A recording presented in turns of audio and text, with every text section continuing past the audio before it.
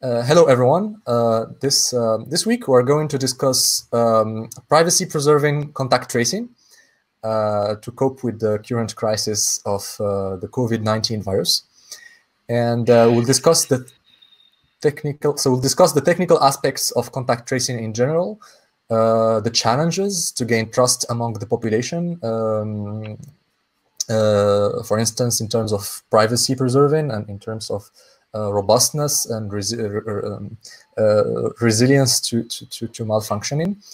Um, so let's let's first start with uh, maybe this explaining the, the protocol. And maybe um, we can start first with the motivation. yeah, okay. Let's let's let's maybe yeah, begin with the motivation. Go ahead.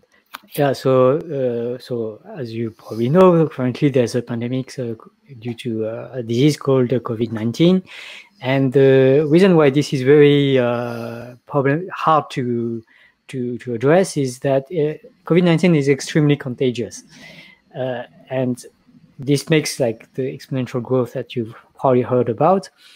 But what makes uh, COVID-19 particularly more trickier than a lot of other diseases is that COVID-19 is actually contagious, uh, especially for like at least a lot for people who don't have the symptoms right uh, yet.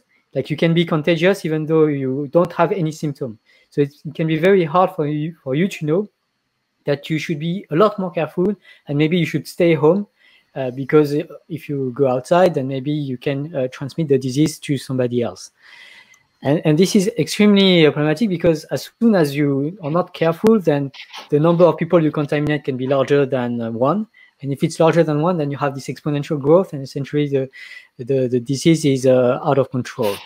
So if you want to uh, make sure that there's not this exponential growth, that uh, the the pandemic will be uh, contained, uh, what you really want to do is to make sure that anybody who's at risk will be staying at home and self-isolate. This is, by the way, the recommendation by uh, the World Health Organization, and many epidemiologists agree with this.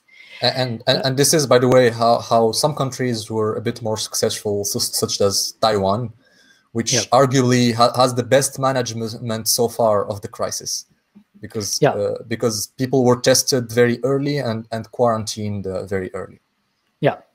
And so to do uh, contact tracing, what people usually do, uh, so so the idea of contact tracing is that you should try you should try to identify who's is likely to have the COVID nineteen, by looking at uh, what are the, the infected people, uh, the people who got tested positive uh, to COVID-19, and who these people who are now infect, uh, tested positive were in contact with uh, a few days ago and may have uh, transmitted the disease too.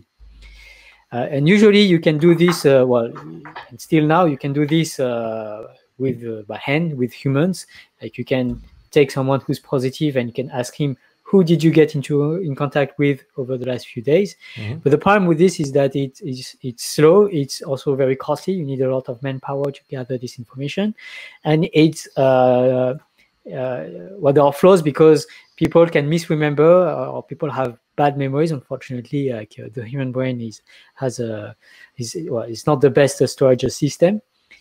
And the idea of uh, what we're going to talk about today is uh, electronic contact tracing, mm-hmm. namely uh, the idea of making sure that this contact tracing is done by uh, algorithmic solutions, in particular by your phones. And DP3T is a particular protocol to achieve this while guaranteeing a high level of privacy and security. Actually, I, I, be- I believe the motivations are not well uh, communicated and understood. So you mentioned the exponential growth, and uh, maybe we can spend some time on how much non-intuitive and exponential growth it is, even for the most educated scientists. I don't know if Louis, you want to comment to comment on the non-intuitive part of an exponential growth and why we should be really very careful and and not be overconfident, as, uh, for example, Angela Merkel warned two days ago. Yeah, so uh, to explain to my friends, I use this uh, uh, famous uh, enigma uh, puzzle that I heard a long time ago. Is that uh, in the in the middle of a lake there is a, a flower that doubles the size every single day. Hmm. After 31 day, it, it covers the size of the of the lake. Mhm, mhm. And the question is, uh, at what point, to, at what day did it uh, cover half of the lake? So the answer to the question is, uh, sometimes people would say after half the time, so after 15 days. But the correct answer is that it was just one day before covering the full lake. It was covering half the lake. And now I I, I put this in parallel with the how hospital are how full are the hospital right now due to the pandemic. Hmm. And uh, I at a, at some point in time, the pandemic was growing uh, with at least doubling every three days. Mhm, mhm. Uh, when the hospital are still uh, uh, 50% full, the problem is that the, everyone would have the impression that, oh, we still have a lot, most more than half of the hospital are free. We, we still Mm. have a lot of capacity. And and it took at it we have been talking for COVID for one month now. Mhm, It took one month to get hospital half full, so we are not at risk at all. But this is untrue. Uh, to relate to the, the case of the flower and the lake, uh, half full capacity is happening three days before the hospital are overwhelmed with uh, with patients. So So yeah, if it takes if it takes one month to get half the hospitals full, it will It- just take three additional days yeah, to get them 100% full. Yeah, and this is why it's really non-intuitive to to deal with exponentials. And um, um, so so uh, maybe uh, if uh, I don't know if you want to comment on um, on the efficiency that of of contact tracing in the case of Taiwan, or or we may just go ahead and discuss the protocol. Um, yeah. So what, what I want to, to stress is, uh, well, I'm going to talk about something else, but uh, what I want to stress is that it's not only about saving uh, the lives directly caused by uh, COVID-19. Uh-huh. Uh, the current uh, lockdown in um, most, like in all developed countries, uh, nearly all developed countries in the world, Mhm. is uh, putting a lot of uh, of stress on a lot of different things. Like Mm. it's not no longer only about uh, healthcare. Uh, now it's affecting the way businesses are working. Like uh, companies are in shutdown for for months. Most of them cannot afford this. Uh, many of them, at, at least. Uh, some of them have to uh, to to ask for loans uh, to, just to, to stay alive. Uh, if it's if the the lockdown carries on for for, for more months, or if there's a, a second uh, confinement because there's a second wave of the pandemics, then many of them will probably have to declare uh, bankruptcy, and this will lead to a lot of unemployment. So like if you like in the US uh, right now, it's particularly uh, critical. Like there are, are tens of millions. I don't know what the figures are right now. Uh, maybe like 16 20 million at least, I heard. Yeah, yeah. And Yeah. uh, talking about exponentials, it was 6 million, and then a few days ago it was 16 million, so it almost tripled. Yeah. So all of this is also growing exponentially and the risk of growing exponentially. So that's why it's uh, extremely important to avoid like potentially major risks that we think about uh, uh, deconfinement and hopefully doing this not in the too distant future, but it has to be safe. Like it's critical that it's a safe uh, de- Maybe deconfinement. Ju- just Yeah. a point about economy because uh, people hear a lot about uh, this dilemma between saving the economy and saving lives and unfortunately there are some people who are arguing for saving the economy with sometimes the wrong arguments uh, actually um, th- th- they're not like contradicting objectives and uh, and if, if we have unemployment figures raising we would eventually have deaths and suicides and and and Yeah. several and health like in many countries people's healthcare is tied to their employment so if they lose their employment they lose their healthcare and um, uh, also like there are many side effects of being under lock- lockdown. For example uh, domestic violence like uh, Yeah. is on the rise according to many public health agencies. And this is also something that is a side effect of pro- like prolonged long so looking for a shortening uh, lockdown is not only motivated by basic greedy economic motivation but also life-saving economic motivation. So Yeah. so, so people have like we, we really have to take time and think about that there, those are not contradicting objectives saving the economy and saving lives are not necessarily always contradictive Yeah. and it's not about the the rich. I mean, the rich uh, people are going Yes, to be yes, fine. the- they, they This is about poor confinement. people who Exactly. are, are homeless or don't have a, a Exactly. great housing and So you see, you see videos from poor countries where, where some people are literally uh, asking for the release uh, so that they stop being hungry. And uh, not Yeah. everyone has a safety net and the salary that is popping up at the end of the month while being remotely working. Yeah. Yeah. So that's why it's really important to to think about how to make deconfinement, but it's also critical to make it safe. And uh, that's why anything that can help should, should be at least considered. And in particular, contact tracing is estimated to to, to have a, a non-negligible impact. It's not going to be life-saving, but it's not going to be uh, like completely changing the game. But it can arguably, like uh, I've made some rough calculations based on, on on the estimations of pre-symptomatic contaminations, contaminations by people who don't have yet the symptoms, and if you can reduce this, uh, i- i- like uh, even uh, by uh, by fifty percent, then it, can reduce dramatically, uh, or even by twenty percent, it can reduce dramatically the contamination numbers, the reproduction numbers, so the number of people every person Mhm. contaminates, and this can like this can reduce uh, the the lockdown by by by months or like uh, accelerated by months, or it can prevent a second confinement, and, and this may save in the end uh, maybe hundreds of thousands, if not millions of people. So it's really really critical to to to do to at least consider contact tracing, and for this uh, we need to do it right. Okay, so maybe now let's uh, let's move to the protocol. Um, maybe just discuss the basics, and then discuss specific ones such as uh, uh, DP3T. So Okay, yeah. So the basic idea of uh, contact tracing is uh, that as we all have a smartphone uh, with us, as most of the population has a smartphone with them uh, at all time, smartphone will be communicating with one another and uh, and and register which other smartphone they get uh, close to. Mhm. Then when someone uh, uh, feels sick and uh, make a test and they realize that uh, is uh, is uh, infected with a COVID-19 uh, disease. Mhm. Then uh, it will publish on an online database. Uh, its uh, uh, let, let's say its name Mhm. and uh, other phones that registered that they they went close to that person Mhm. would then be able to know that they were in contact with someone that was sick.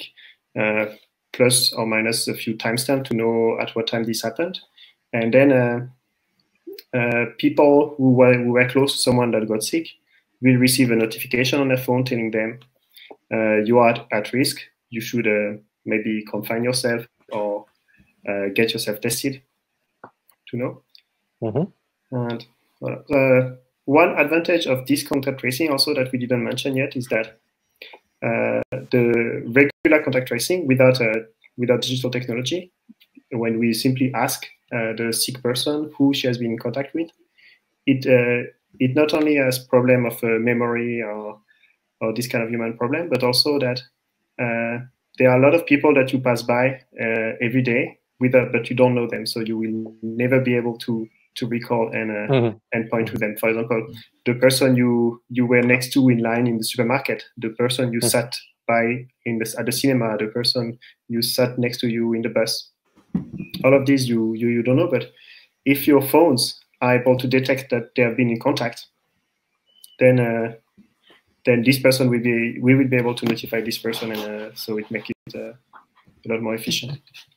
Um, maybe uh, I'll just show the uh, a cartoon made by Nicky Case and um, with the help of Professor Carmela Troncoso from EPFL.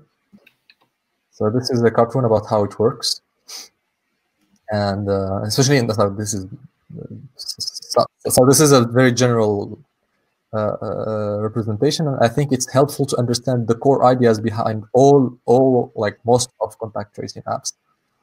So this is what you explained. Uh, Alice phone. So our phones are always like broadcasting a, a signal to antennas, etc. But here, in this case, uh, it will be through Bluetooth, so they will be just broadcasting them. Yeah. Yes. What I didn't say is that uh, this doesn't work by uh, sending your name to every phone that passes by next to you, but Exact. it, it works So- using a, a random generated, a randomly generated key and uh-huh. and IDs that will be updated every few minutes. This is made so to to avoid that uh, uh, leaking outside around you too many uh, too much private information. So yeah, so if, if take this case for example, so this phone is broadcasting those uh, random 5L, PO, etc. And and and when the two phone owner, owners met, they exchanged those messages and they keep track. They keep track of all the random stuff they received. So both phones remember what they said and heard in the past 14 days.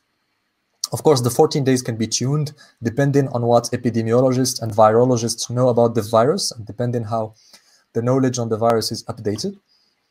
Um, so and then uh, if one of these people, so we can imagine many people meeting many people. So so this is your phone. It has it keeps track of what all of the random stuff that that that it broadcasted, and then it keeps track of all the random messages that were received by nearby devices.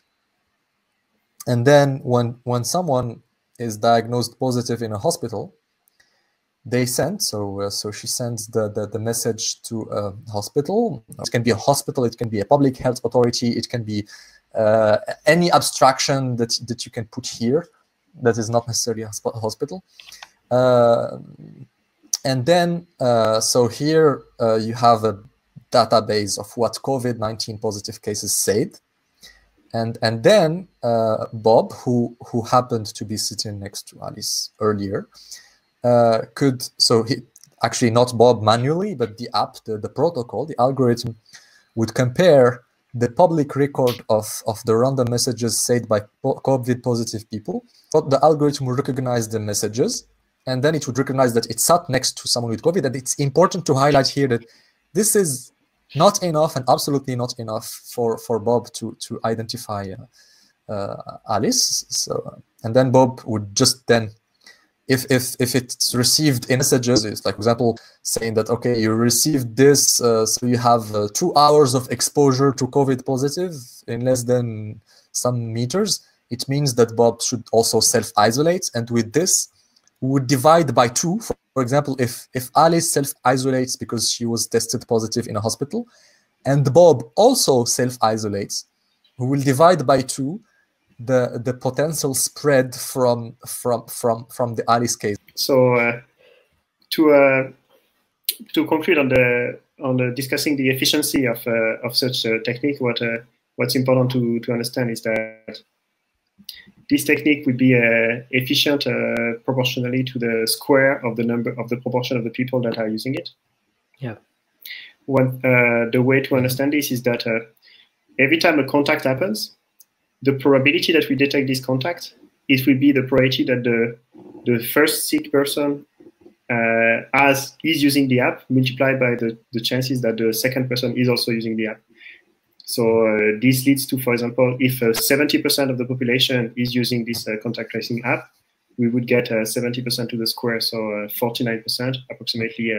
it will so it will detect approximately half of the contacts, and and we can expect it to reduce the exponential growth of the, of the pandemic. Yeah. But uh, on the other hand, if only 10% of the of the population using it uses it, then it only detects 1% of the of the contacts. So it would be, uh, in that case, not worth it to to use such an app. Yeah, yeah. The effectiveness of contact tracing is critically dependent on uh, its wide adoption and uh, fortunately like right now it's still very hard to to foresee how many what is a fraction of the people who are actually going to use it. Uh, a scary number is that in uh, in um, in Singapore there was like uh, around 20% of uh, of users of, of people in Singapore using this app uh, at least in the beginning of April. I don't know if the figures went up I know I hope they did uh, so if we want this solution to be effective, it's extremely important that we communicate well around this. Uh, and that uh, it's, it's, it's people gain trust in the system and they're willing to, to use it. Uh, unless it's made mandatory, uh, that could be a, a, another way to go. but so far it seems like there's a, a, strong push. Maybe it's going to change, but there's a strong push for for this not to be mandatory. Um, yeah, so there's a big challenge here in terms of, of, of communication, but uh, the the other challenge is that if you want to convince people to use this app, and then it's also extremely important for it to have guarantees of privacy. Well, it's important in, in general, I guess, but if especially in this case, like uh, privacy and, and, very good privacy is extremely important, so that it's like. Uh, like people really think it's a good application, and also because it's going to be allow it's going to allow uh, to protect the different users. And uh, DP3T in particular uh, gives a huge emphasis on, on privacy. And a lot of the protocols are, designed so that uh, even uh, so there are two kinds of attacks you can think of on the on the system. One kind is, is called curious but honest. Uh, so this would be typically spies like people who trying to find information by uh, poking into the system. And then there's, there's this other kind of, of, of, bad user, which is which is a user that tries to, to screw up the system. Uh, sometimes we call them uh, uh Byzantines uh, in, uh, computer science. And you want the system to be robust to both of these kind of attacks. Mm -hmm. So in terms of privacy, the main trick is this idea of random ephemeral identifiers mm-hmm. Uh, that we've already uh, talked about. Um, and well, they, I guess there are a few additional tricks and subtleties maybe that I won't get into. but as well, I think the Byzantine resilience mm-hmm. of the system is extremely important.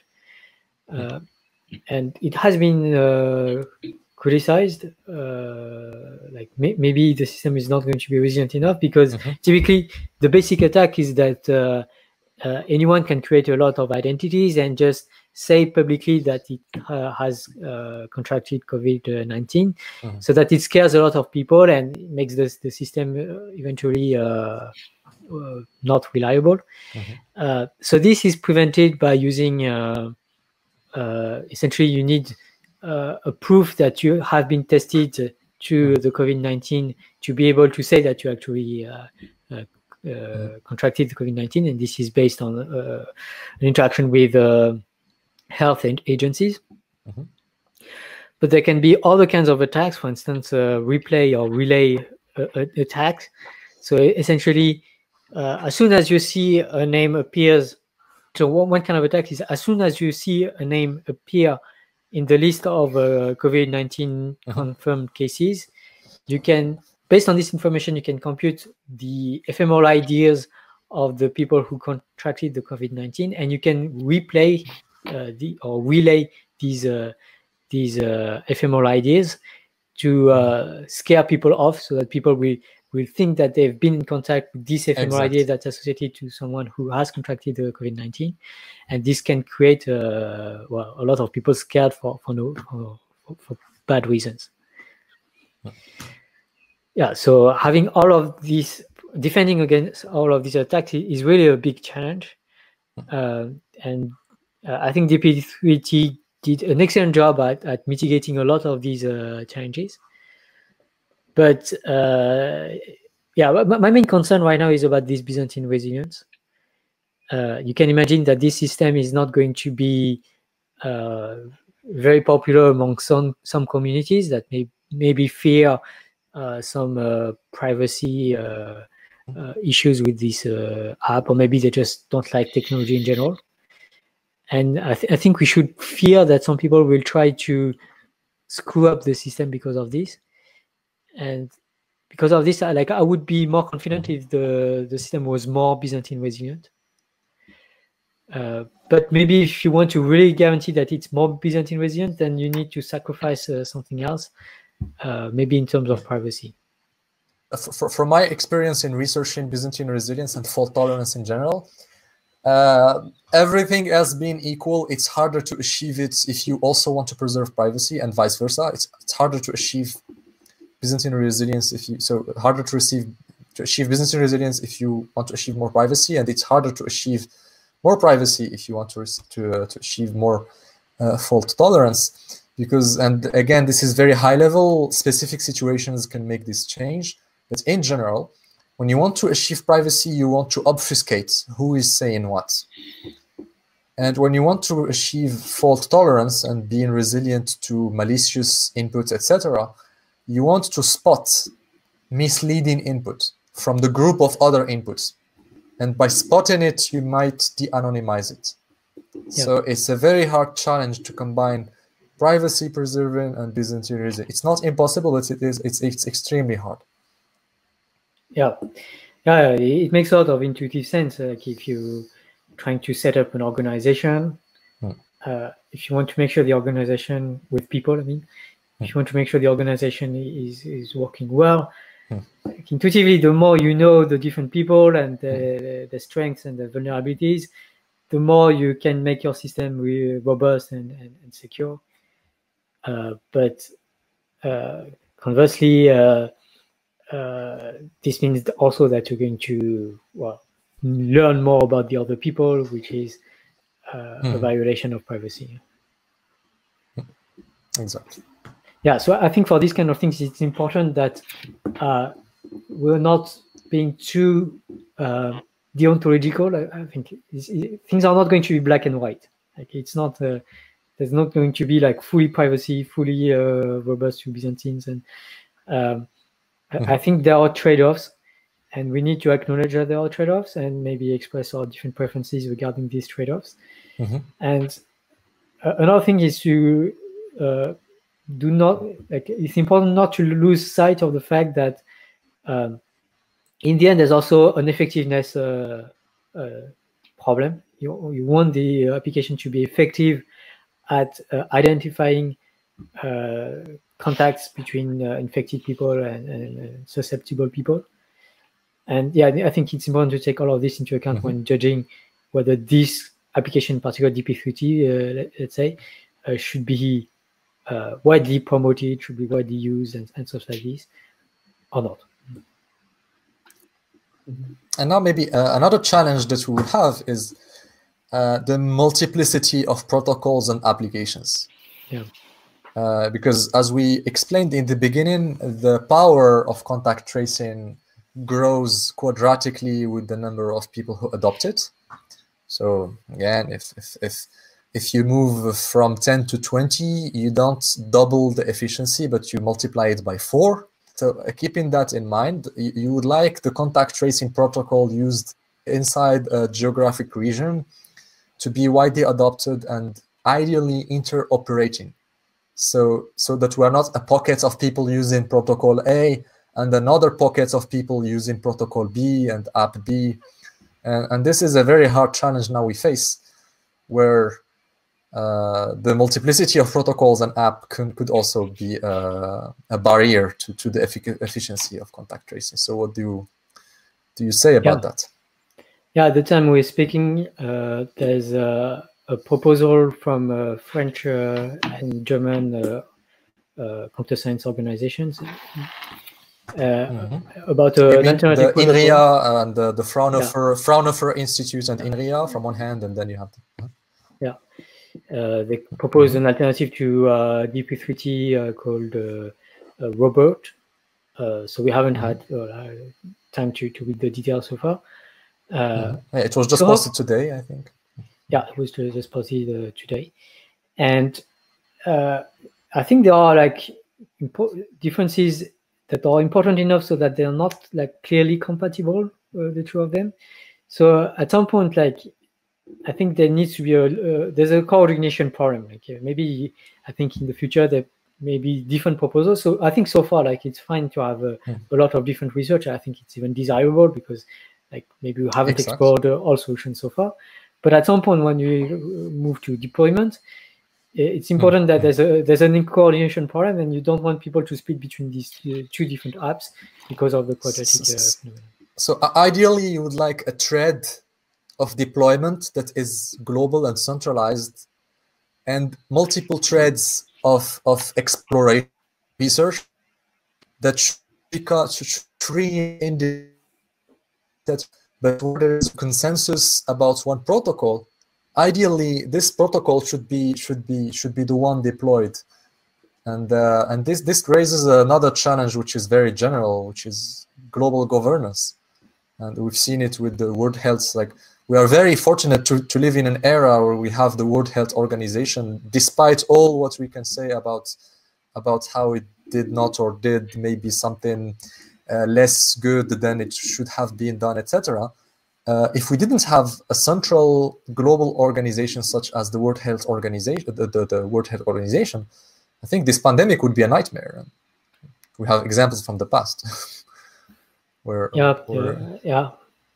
So, so I would strongly argue as well that uh, WHO, uh, the World Health Organization, has been critical in relaying information, uh, calling for for stronger measures, uh, Hmm.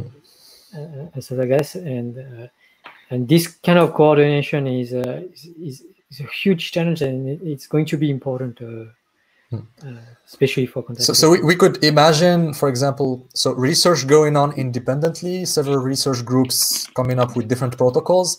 But in deployments, ideally, it should be, for example, the health authority in Switzerland that that that organizes the deployment in Switzerland, and the health organization in France organizing the deployment in, in, in France, etc. And eventually, uh, uh, when when they come up with improvements on each deployments, they have interoperate operating apps because eventually borders would be opened and people will be traveling again, uh, and this might happen sooner than vaccines arrive. Yeah. So- one thing we didn't mention about the contact tracing app also is that uh, a second goal of uh, this project uh, DP3T is to uh, collect data from uh, from but on a voluntary basis from whoever using the app would be will accept to Wow. uh, to to give this data to epidemiologists because today uh, we are collecting uh, already quite a lot of data, but uh, somehow there is also uh, a, a, a delay between the, the data we are collecting and what really happens because we collect Mhm. data on a um, most likely patient that already go to the hospital or already have symptoms, and it comes after five six days of uh, of uh, being infected. So using these apps, if uh, epi- uh, epidemiologists would have the opportunity to to collect much more interesting data, data that's more on time, and uh, for example, as we, we were discussing, uh, dif- different measures to to reduce the confinement over time. And if we want to know if we are doing the right thing, we want very quick feedback on the on the measure we are taking. Like if we reopen the cinemas, Hmm. we want to to right away know uh, was it a mistake? Uh, should we should, should we go back? But the problem in the with the data we collect to, today, Mm, the problem is that we will know six days later, and because of exponential growth uh, parameters. Uh, Right. Uh, it would already be a, a huge mistake by the time. So yeah, yeah. Sorry, we, we will know, but with a delay that is uh, extraordinarily dangerous. So we Mhm. would know, but with the six days delay, which is given the exponential we kept repeating uh, since the beginning, would be a, a dangerous delay. Yeah, actually, yeah, and arguably the delay is uh, is longer than this because Mm, if you Exactly. look at the So confirmed cases, then we'll say 14 days, and, and yeah, maybe more in the order of 14 days than on the order of six days. Yeah. So yeah, So- real-time estimation of the Yeah. reproduction number in particular is critical, like uh, to see uh, if our interventions are good enough to contain the, the pan- pandemic or not. Exactly. So a lot of people are scared about the privacy concerns about this uh, this application. Uh-huh. Um, so yeah, I think DP3T uh, is like excellent, but uh, maybe it's still hard for some people uh, to, to, to, to estimate the, the privacy concerns. And I think it's interesting to, to compare this with the privacy uh, leaks that we have by using other kinds of applications. All right. And particularly, you can think of Google or Facebook, uh, or Amazon or Tinder or whatever, like all the apps uh, you're using on your phone. DP3T is designed to violate a teeny tiny, tiny, tiny fraction of the privacy that you are leaking through these other apps. some friends, uh, all of them academics, on Facebook were discussing the the, the, the privacy concerns with DP3T, and uh, they just say exactly that. Like uh, this is a fraction. So you're here, you are giving your real names, etc., location, and of. So if you see the allowance you would give to to to DP3T, it's like it's epsilon. It's like tiny and microscopic compared to the allowance so so people are, are now renting against uh, the privacy concerns with dp3t using social media that is already Yeah. uh, They, they're publishing times yeah on Facebook, which is a bit Yeah. weird. yeah. So I, I think it's important to, to have a more quantitative approach to Hmm. these notions of privacy.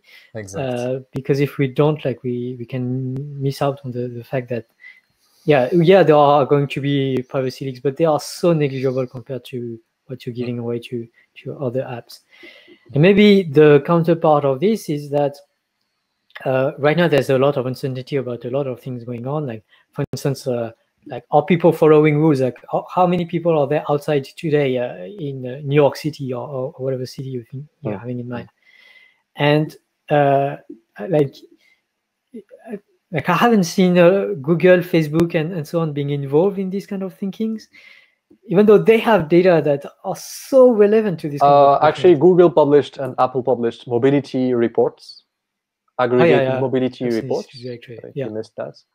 yeah, I've, I've missed it. Well, I've just seen it today actually, but yeah, Uh, but that that's uh, that's helpful, but we, we could have better data. So and they also now published uh, a machine readable version of that data for researchers, so CSVs, Okay, cool. etc., instead of PDFs. Uh, it's a bit counterintuitive because you, so in, in proximity tracing you can you can just let the app know if you met person this like if Alice met Arno but it won't need to know where they met, the location where they met. E- even though some countries are, are using location tracing, we might argue that that's not necessary. So you only need to know if if A met B. You don't necessarily need to know where they met and uh, what did they say or what did they uh, talk to each other. So so with way less data, which is it just whether A met B, uh, you can have valuable epidemiologic uh, information wh- wh- while social networks are are, are uh, accessing way more data and not necessarily giving researchers anything to, to use. yeah, yeah. There's a, an application by MIT called the Private Kit where you uh, actually have uh, uh, exploit uh, GPS uh, data to Mhm, do contact mhm. tracing. Somehow, I think it's a bit of a shame that uh, the there- there's so much data about these companies, and uh, unfortunately, maybe like I don't know all the details, but maybe these companies did not do enough effort in trying to work with health agencies and help them. Uh, but maybe on the other hand, uh, researchers did not do uh, the effort of going to these companies and asking them. I know there's a lot of uh, of uh, legal concerns also uh, in doing this, especially under the GDPR. Uh, it, it's quite a complicated problem, but given the, the scale of the problem right now, like would hope that there could be more kinds of fruitful collaborations along these lines. Uh, next week we will be talking on uh, other uh, AI algorithms that can help fighting the, the COVID disease, in particular to test uh, different proteins, uh, different molecules, uh, and and do do do research for, I guess, vaccines. The, these are a few ideas listed by Jürgen Schmidhuber, who is a, one of the founding, fa- like the most uh, influential uh, researchers, especially on neural networks. Good, bye.